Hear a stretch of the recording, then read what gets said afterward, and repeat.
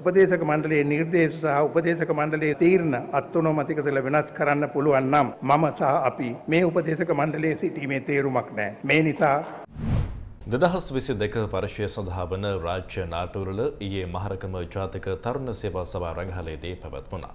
ඒ ජනාධපති රනිල් වික්‍රමසිංහ මහතාගේ ප්‍රධානත්වයෙන්.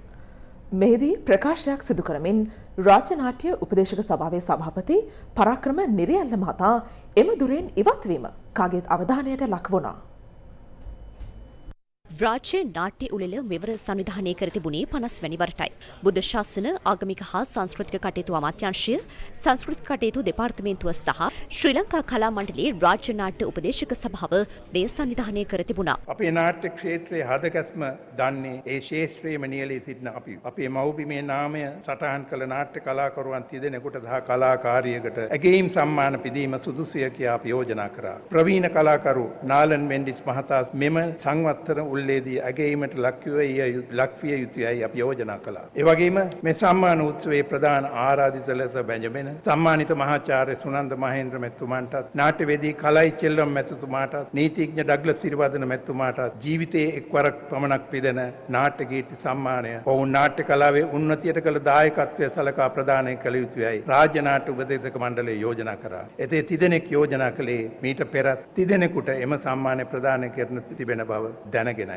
නාට්‍යගීත සම්මානය ප්‍රදානය පිළිබඳ ප්‍රතිපත්තියාව හෝ රෙගුලාසියක් කොහේවත් සටහන් වී නැහැ. අපේ නිර්දේශ මත මේ තිදෙනාටම එම නාට්‍යගීත සම්මානය බාර ගැනීමට පැමිණෙන ලෙස ගෞරවනීය ගෞරවනීය ලෙස දන්වා සංස්කෘතික කටයුතු දෙපාර්තමේන්තුවේ අධ්‍යක්ෂිකාවගේ අත්සනින් 2023 නොවැම්බර් 11 වෙනිදා ආරාධනා ලිපි යවා තිබෙනවා. ඊට පසුව නැවතත් එම අධ්‍යක්ෂිකාවගේම අත්සනින් නාට්‍යවේදී ඩග්ලස් සිරිවර්ධන මහතාට 2023 දෙසැම්බර් 11 වෙනිදා ලිපියක් යවනවා. එක් අංශයකට එක් සම්මානයක් දෙන්න ප්‍රතිපත්තිමය තීරයක් තීරණයක් අරගෙන තිබෙන නිසා ඔහුට හිමි යුතු සම්මානය ලබන අවුරුද්දේ දෙනවා කියලා. කවුද මෙවැනි ප්‍රතිපත්තියක් හදිසියෙම හැදුවේ? මේ ගැන විමසීදී මට දෙපාර්තමේන්තුවෙන් දැනගන්න ලැබුණේ ඇමතුමාගේ නියෝගයක් අනුව මෙම වෙනස කළ බවයි. මෙවැනි සිද්ධියක් මේ රටේ පමණක් නෙවෙයි. මේ ලෝකේ කොහේදිවත් සිද්ධ වුණා කියලා මම අහලා නැහැ. මේක නාට්‍ය කලාවට මෙහෙවරක් කළ නල නාට්‍ය කලාකරුවෙකුට කළ අගරුවක්. සදාචාරයට පටහැනි නොපනත්කමක් මකා දැමිය නොහැකි කිලුටක්.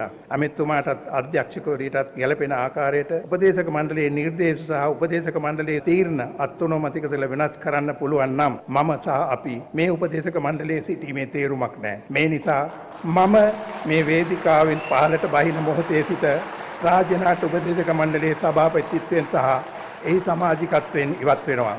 මට කරන්න දේවල් තියෙනවා. මට එළියට බැහැලා නාට්‍ය නිර්මාණය කරන්න පුළුවන්. ජනතාව අතරට යන්න පුළුවන්.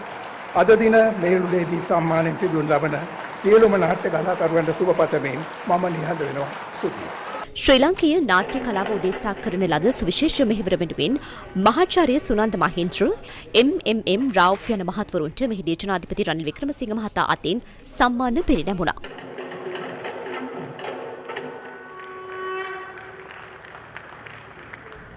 ඇත්ත කෙටියෙන් දත්ත වැඩියෙන් සයිබ අවකාශය කළඹන වුවත් සලකුණ නිවස් ෆර්ස්ට් YouTube චැනලය අදම සබස්ක්‍රයිබ් කරන්න. නිවස් ෆර්ස්ට් ජනතාව සමඟ